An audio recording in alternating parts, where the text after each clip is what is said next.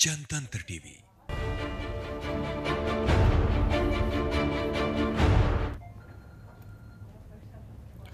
नमस्कार, आप देख रहे हैं हमारे खास पेशकश। मैं हूँ आपके साथ दीपाली। बात करेंगे कितना असरदार वन नेशन का नारा। आगे बढ़ते हैं, बताते हैं आपको किसानों के लिए one nation, one agri market, यानी कि एक राष्ट्र, एक कृषि बाज़ार, एक मार्ग खुल गया है। केंद्रीय मंत्रिमंडल में एपीएमसी मंडियों के बाहर बाधा मुक्त व्यापार की अनुमति देने वाले अध्यादेश को मंजूरी दे दी गई है। कृषि उत्पादन व्यापार और वाणिज्य अध्यादेश 2020 राज्य सरकारों को मंडियों के बाहर किए गए कृषि उपज की बिक्री और खरीद पर टैक्स लगाने से रोकता है और किसानों को लाभकारी दामों पर अपनी उपज बेचने की स्वतंत्रता देता है। सरकार का दावा है कि मंडियों के बाहर व्यापार करने के लिए कोई इंस्पेक्टर राज नहीं होगा और मंडियों के बाहर बाधा रहित व्यापार करने में कोई कानूनी बाधा नहीं आएगी। रिपोर्ट देखिए।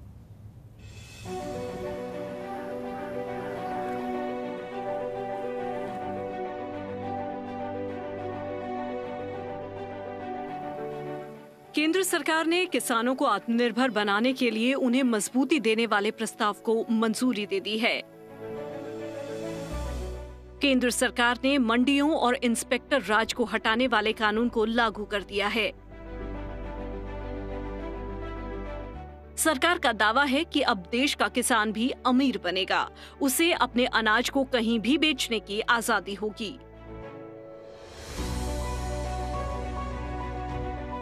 किसानों के लिए one nation one agri market का रास्ता साफ़ करते हुए केंद्रीय मंत्रिमंडल ने अधिसूचित एपीएमसी मंडियों के बाहर बाधा मुक्त व्यापार की अनुमति देने वाले अध्यादेश को मंजूरी दे दी है। बताते चले कि कृषि उत्पादन व्यापार और वाणिज्य अध्यादेश 2020 राज्य सरकारों को मंडियों के बाहर किए गए कृषि उपज की बिक्री और खरीद पर टैक्स लगाने से रोकता है और किसानों को लाभकारी मूल्य पर अपनी उपज बेचने की स्वतंत्रता देता है। कृषि के बारे में ऐतिहासिक फैसले हुए हैं। किसान की 50 साल से जो मांगे थी वो आज पूरी हो रही है। पहला अत्यावश्यक कानून इसेंशियल कमोडिटीज एक्ट अत्यावश्यक वस्तु कानून।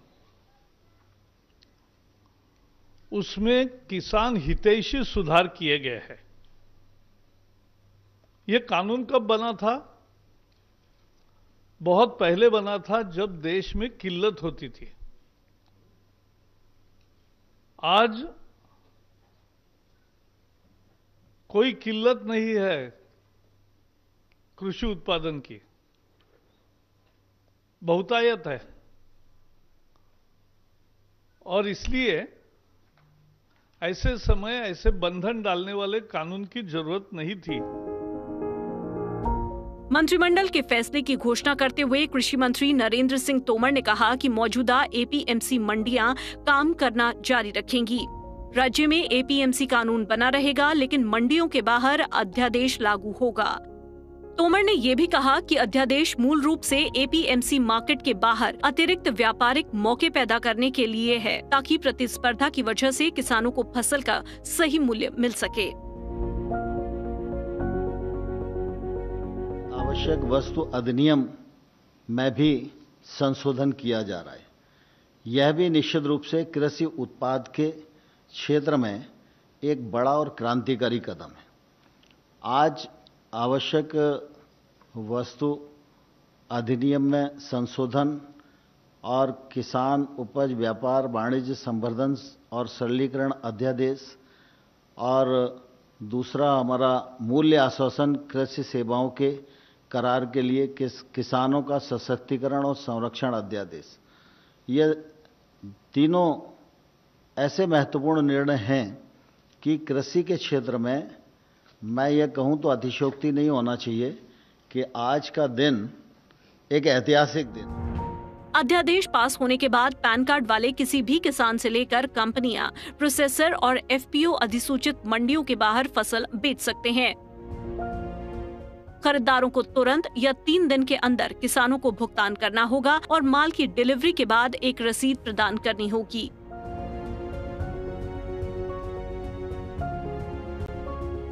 कृषि मंत्री ने कहा कि मंडियों के बाहर व्यापार करने के लिए कोई इंस्पेक्टर राज नहीं होगा और मंडियों के बाहर बाधा रहित व्यापार करने में कोई कानूनी बाधा नहीं आएगी।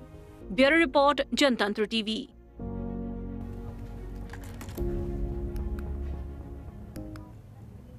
तो ये पहली बार नहीं है जब एक राष्ट्र एक व्यवस्था की अवधारणा के आधार पर मोदी सरकार ने किसी योजना का श्री गणेश किया हो।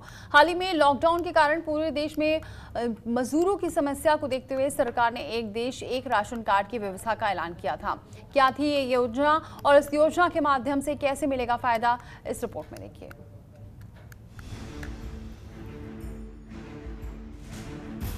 केंद्र सरकार की महत्वाकांक्षी योजना, एक देश एक राशन कार्ड एक जून से 20 राज्यों में लागू हो गई है। एक जून से योजना में तीन और राज्य, ओडिशा, सिक्किम और मिजोरम जुड़ गए हैं। इसके साथ ही उन राज्यों की संख्या 20 हो गई है, जहाँ ये योजना लागू हो चुकी है। इस स्कीम का फ़ायदा उन राशन कार्ड धारकों को होगा जो दूसरे राज्यों में नौकरी करते हैं। राशन कार्ड धारक देश के किसी भी हिस्से की सरकारी राशन दुकान से कम कीमत पर अनाज खरीद सकेंगे। इस स्कीम से अभी सड़सठ करोड़ लोगों को फ़ायदा मिलेगा। खाद्य एवं सार्वजनिक वितरण मंत्री रामविलास पासवान का दावा है, ये योजना मोदी 2.0 सरकार की एक महत्वपूर्ण उपलब्धि है और मार्च 2021 तक यह देश में लागू हो जाएगी। अब आपको दिखाते हैं कि one nation, one ration card योजना आखिर क्यों खास है। 20 राज्यों में राशन कार्ड के लिए एक जून से वन नेशन, वन कार्ड की योजना लागू। राशन कार्ड किसी भी राज्य में बना हो, उसका राशन खरीदने के लिए उपयोग होगा। One nation, one ration card का सबसे ज़्यादा फ़ायदा मजदूरों और गरीबों को होगा। पाँच किलो चावल, तीन रुपए किलो की दर से और गेहूँ दो रुपए किलो की दर से मिलेगा। कार्ड दो भाषाओं में स्थानीय और हिंदी या अंग्रेज़ी में जारी होगा। बड़ी बात यह कि कार्ड ना होने पर भी राशन की सुविधा मिल सकती है। कारण है कि वित्त मंत्री ने कहा है कि जिसके पास राशन कार्ड या कोई कार्ड नहीं है, उन्हें भी राशन की मदद दी जाएगी। आठ करोड़ प्रवासी मजदूरों को होगा इसका फ़ायदा। इसमें 3500 करोड़ रुपए का खर्च होगा। राज्य सरकारों के ज़रिए इसे कारगर बनाया जाएगा। अगले दो महीने तक यह प्रक्रिया लागू रहेगी। इस योजना से लाभार्थी अब किसी भी एक पीडीएस दुकान से राशन लेने के लिए बाध्य नहीं होंगे, बल्कि इससे दुकान मालिकों पर निर्भरता घटेगी और भ्रष्टाचार में कमी आएगी। देश में योजना को लागू करने के लिए भी पीडीएस दुकानों पर पीओएस मशीनें लगाई जाएँगी। इस योजना के तहत पीडीएस के लाभार्थियों की पहचान, उनके आधार कार्ड पर इलेक्ट्रॉनिक पॉइंट ऑफ़ सेल से की जाएगी, जैसे ही राज्य सभी पीडीएस दुकानों पर पीओएस मशीन की रिपोर्ट देंगे। वैसे ही उन्हें एक देश, एक राशन कार्ड योजना में शामिल कर लिया जाएगा। इस योजना की शुरुआत 2019 में 9 अगस्त से हुई थी। सबसे पहले चार राज्य, महाराष्ट्र, गुजरात, आंध्र प्रदेश और तेलंगाना इसमें शामिल थे। उस समय योजना को राशन कार्ड, पार्टेबिलिटी नाम दिया गया था। इसके बाद से ही सरकार इसे अन्य राज्यों में लागू करने की योजना पर काम कर रही है।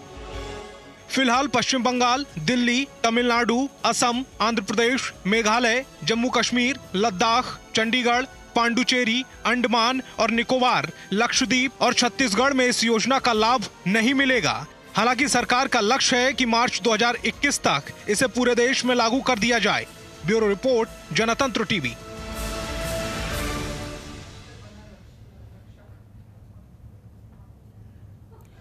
और अब बात करते हैं एक देश, एक टैक्स व्यवस्था की। मोदी सरकार ने 1 जुलाई 2017 में एक देश, एक टैक्स व्यवस्था यानी कि जीएसटी को लागू किया था। इसे लेकर विरोध शुरू से ही देखने को मिला। कभी राज्य अपने हक के लिए लड़ते नज़र आए तो कभी छोटे से लेकर बड़े उद्योग और व्यापारी इससे परेशान नज़र आए। दिखाते हैं आपको कि इस बिल के पीछे सरकार का क्या मकसद था और वो कितनी कामयाब हुई। एक देश, एक कर प्रणाली।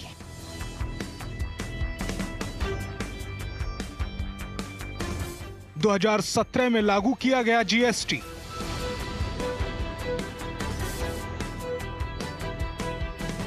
क्या देश में जीएसटी से हुआ फ़ायदा? आखिर क्यों होता है जीएसटी का विरोध? 1 जुलाई 2017 देश में एक कर व्यवस्था लागू की गई। सरकार का तर्क था कि जब देश में अलग अलग तरह के टैक्स नहीं, बल्कि एक टैक्स होगा और वो होगा जीएसटी। बड़ी बात है कि आज भी जीएसटी के अलावा कई टैक्स देश में लग रहे हैं। हालाँकि जब बात जीएसटी की हो रही है तो हम बताते हैं आपको आखिर ये क्या है और इसे कैसे बांटा गया है। भारत में अलग अलग टैक्सों को खत्म करने के लिए जीएसटी लागू किया गया था। पहला सीजीएसटी इसके अंतर्गत केंद्रीय सरकार राजस्व इकट्ठा करती है। दूसरा एसजीएसटी इसके अंतर्गत राज्य सरकार राजस्व इकट्ठा करती है। तीसरा आईजीएसटी इसके अंतर्गत अंतर्राज्यीय बिक्री के लिए सरकार द्वारा राजस्व इकट्ठा किया जाता है। हालाँकि जीएसटी जिस वक्त लागू किया गया और जिस तरह से लागू किया गया, उससे लाभ की जगह नुकसान ही हुआ। जब अर्थव्यवस्था नोटबंदी की वजह से कमज़ोर हालत में थी, तभी जीएसटी को लागू किया गया था। एक देश, एक टैक्स सुनने में बहुत अच्छा लगता है, लेकिन इसके अलावा देश में अन्य टैक्स भी वसूले जा रहे हैं। Bureau report, Jantantra TV.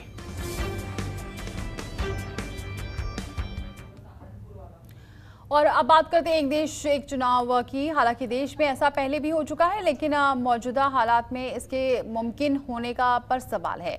Modi सरकार लगातार इसकी पैरवी करती आई है कि देश में एक बार चुनाव होना चाहिए, लेकिन इससे लेकर सहमति अभी नहीं बन पाई है।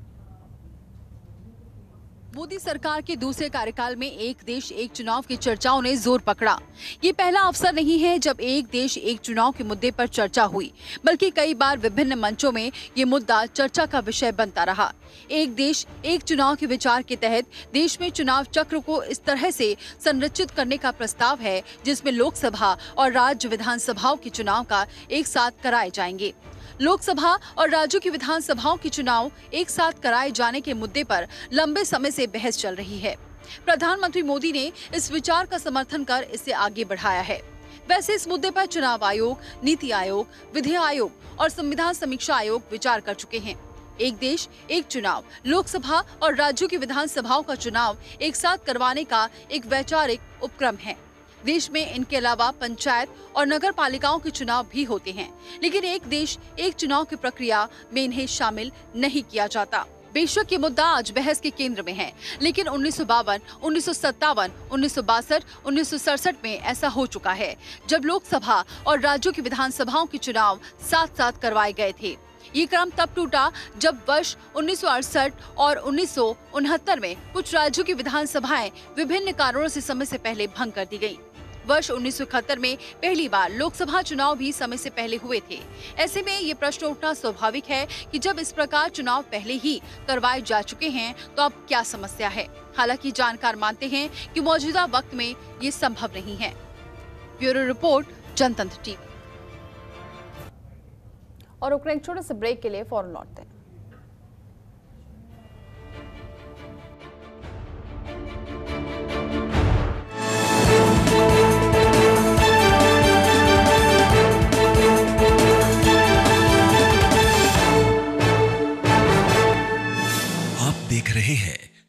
जनतंत्र टीवी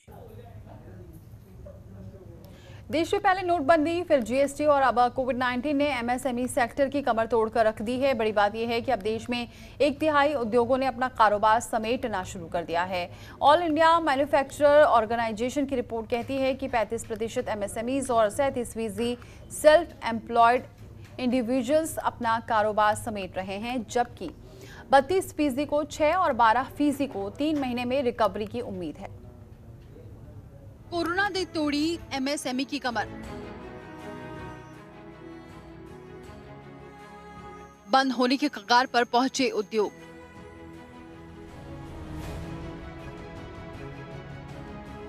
मुश्किल है 35 प्रतिशत रोज़गार की वापसी। एआईएमओ के सर्वे में सामने आई हकीकत। कोरोना काल में जनतंत्र टीवी लगातार एमएसएमई को लेकर आवाज़ उठा रहा है।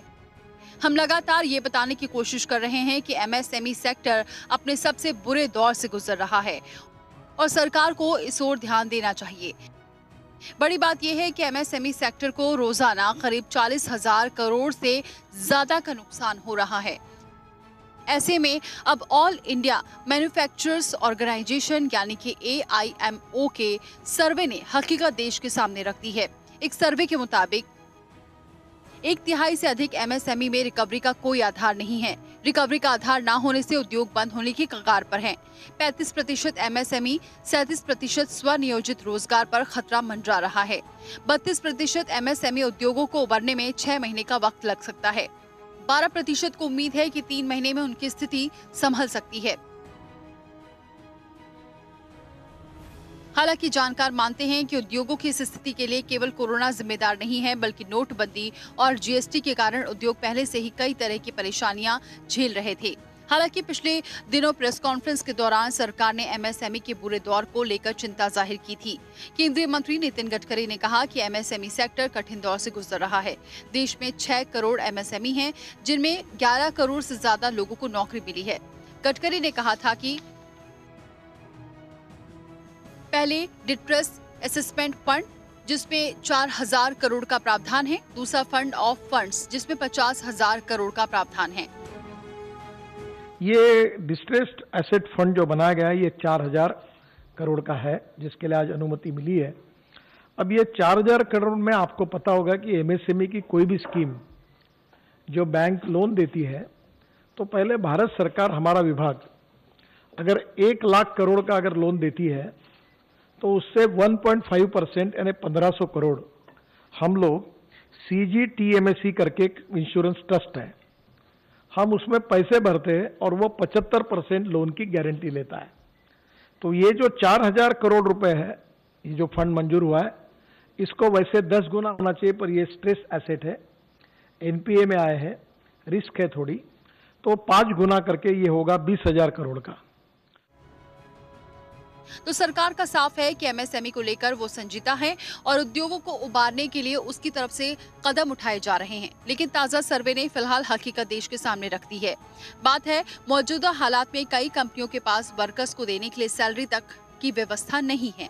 उम्मीद है कि सरकार इस दिशा में कागजों पर तैयार योजनाओं को जल्द ज़मीन पर उतारने का काम करेगी। Bureau report, Jantantra TV. तो लॉकडाउन की वजह से देश की इकोनॉमी को बड़ा नुकसान हुआ है। सरकार इकोनॉमी के सुधार करने के का, काफ़ी दावे कर रही है। विपक्षी पार्टी कांग्रेस के नेता राहुल गांधी भी अपने स्तर पर इंडस्ट्री के जानकारों से बातचीत कर रहे हैं। इसी कड़ी में राहुल गांधी ने बजाज ऑटो के मैनेजिंग डायरेक्टर राजीव बजाज से बात की। इस बातचीत के दौरान राजीव बजाज ने देश की अर्थव्यवस्था मजदूरों रिलीफ पैकेज और कोरोना को लेकर देश के हालात पर अपने विचार रखे।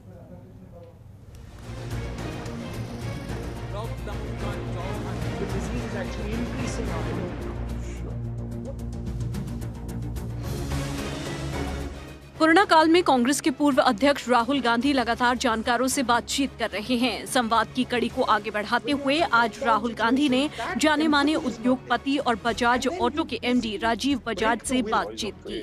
बातचीत में कोरोना वायरस से निपटने के लिए भारत सरकार के उठाए कदमों की राजीव बजाज ने तीखी आलोचना की।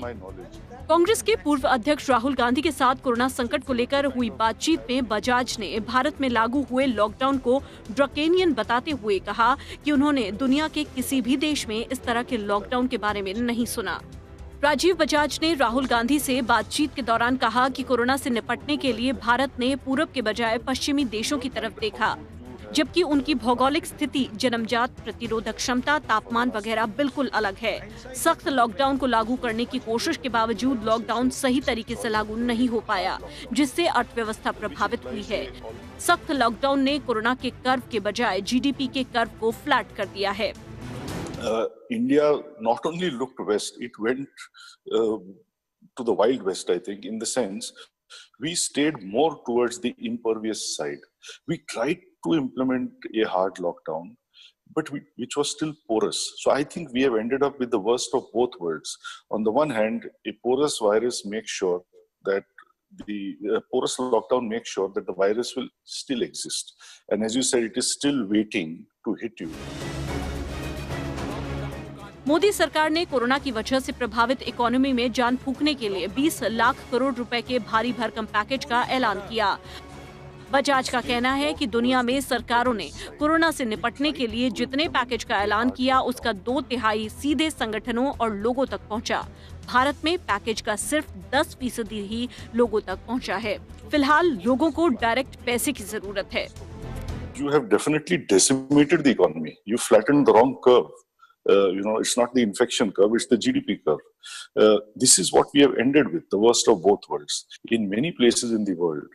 Uh, two thirds of the uh, what the government has handed out has gone to organizations and to people as direct benefits. Whereas in India, it's been only 10%. I mean, you would be better placed to uh, to comment on why this is so. Why have we not chosen to put more directly in the hands of people? Rajiv Bajaj से बातचीत के दौरान राहुल गांधी ने lockdown पर अपने पुराने रुख को दोहराते हुए मोदी सरकार की आलोचना की राहुल गांधी ने कहा कि ये लॉकडाउन फेल है क्योंकि ये दुनिया का इकलौता लॉकडाउन है जिसमें केस बढ़ रहे हैं Now, if you look at what has happened after the lockdown, which by the way, I've been calling a failed lockdown because it's the only lockdown in the world where the disease is actually increasing after we're opening up. Sure. What you're finding is you're going back to that anyway. दरअसल भारत ने दो महीने के लिए pause button दबाया था लेकिन अब फिर देश पहले दिन वाली स्थिति पर पहुँच रहा है। बिज़नेस डेस्क जनतंत्र टीवी और फ़िलहाल इतना ही लेकिन खबरों का सिलसिला जारी है।